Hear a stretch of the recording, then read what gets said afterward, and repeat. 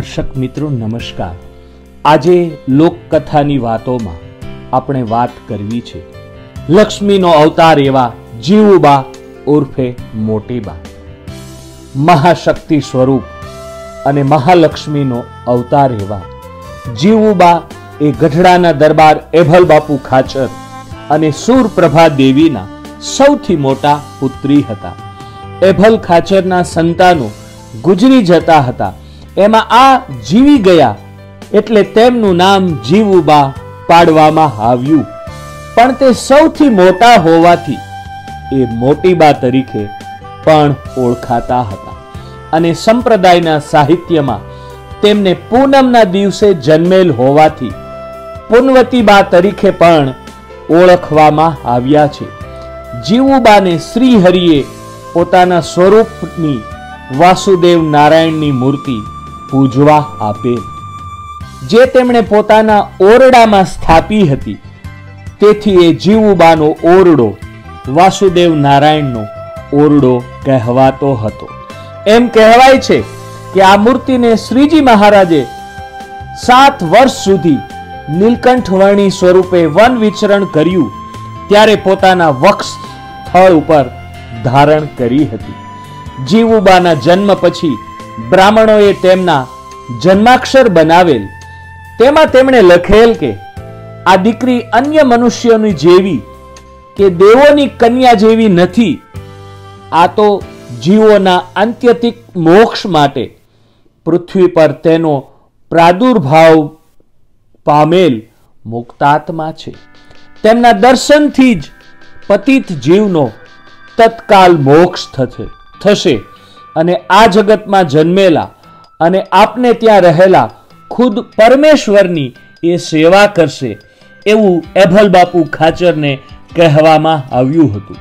જીવુબાને નિરાવરણની શક્તિ મળેલી હોવાથી તેઓ શ્રી હરિને વન વિચરણ દરમિયાન ક્યાં ક્યાં છે એ ગઢડામાં બેઠા બેઠા જોઈ શકતા હતા.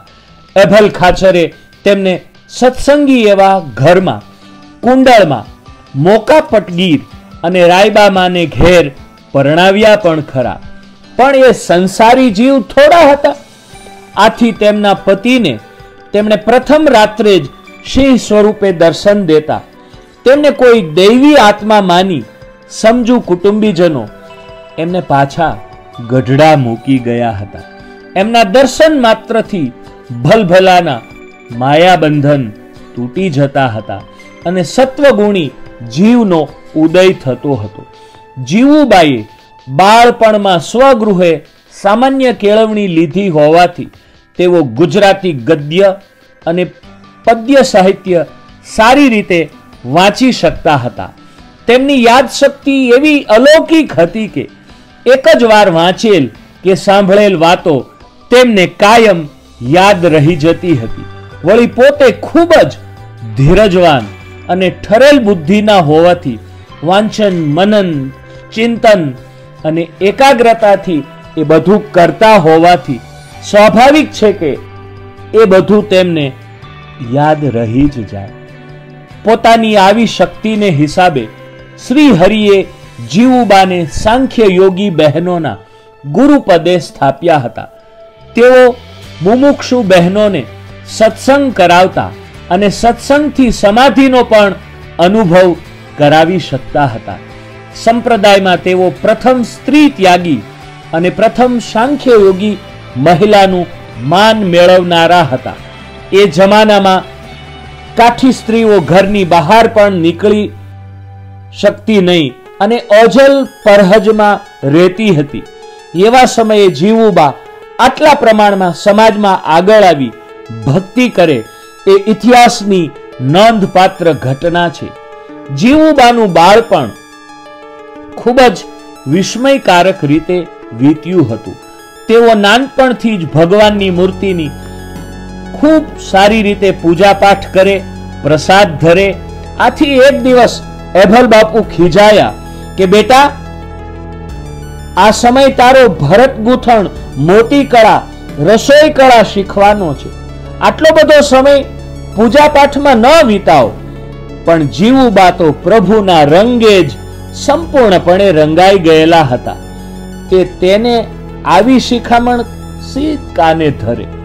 આથી એભલ બાપુ ખાચરને ક્રોધ ચડ્યો અને જીવુબા પૂજા કરતા હતા ત્યાં આવીને ખીજાયા. અને એમ કહ્યું કે, લે આ તારા ભગવાન, તારા હાથે દૂધ પી જાય. તો તારી ભક્તિ સાચી આથી જીવુબાઈ આંખો વીંચીને અંતરથી ભગવાનને પ્રાર્થના કરી કે, પ્રભુ, મારી લાજ તમારા હાથમાં છે. એટલામાં તો પ્રકાશ થયો અને લાલજીએ લાંબો હાથ કરીને જીવુબાના હાથો હાથ દૂધનો કટોરો લઈને ગડગડ ગડગડ કરતા પી ગયા.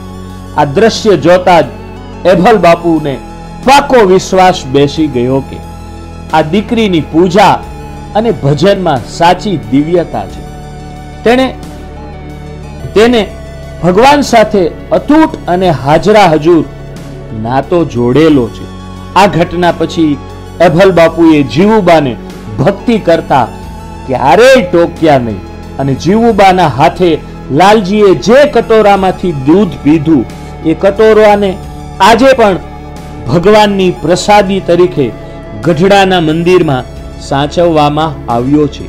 જીવુબાએ સત્સંગી જીવનમાં અનેરું નામ કાઢ્યું.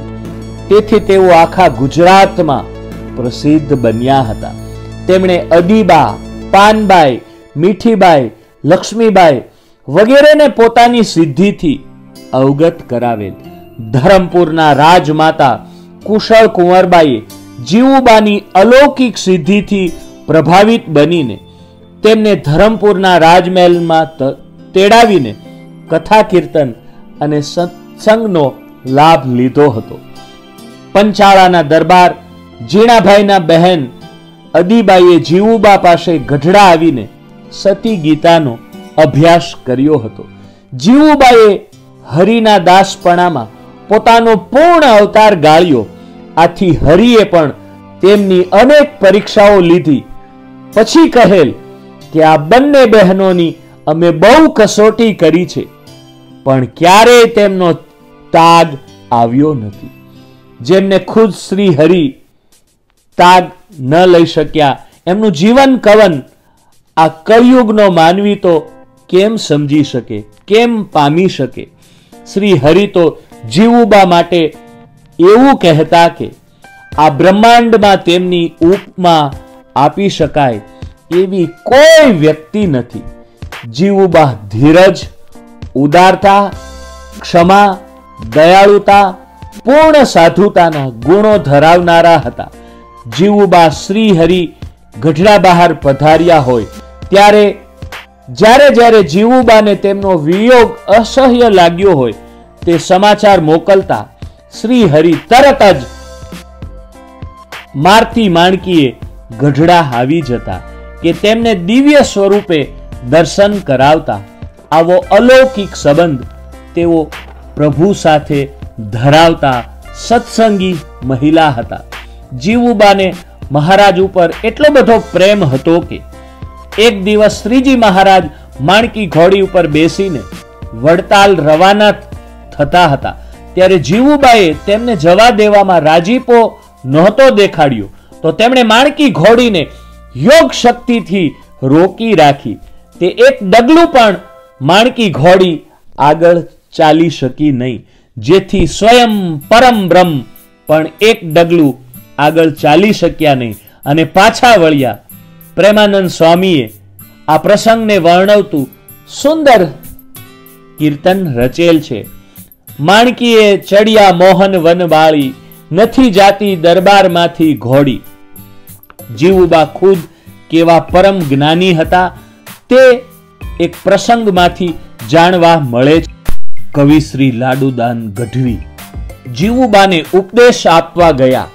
ત્યાં તો જીવુબાએ લાડુદાનજીને એવી અગમ નિગમની અને ધર્મની તથા જન્મ મરણની વાતો કરી તે ખુદ લાડુદાન ગઢવી એટલા બધા પ્રભાવિત થઈ ગયા. અને તેમણે ખુદે સંસારનો ત્યાગ કર્યો. પછી તેઓ બ્રહ્માનંદ સ્વામીને નામે પ્રસિદ્ધ થયા.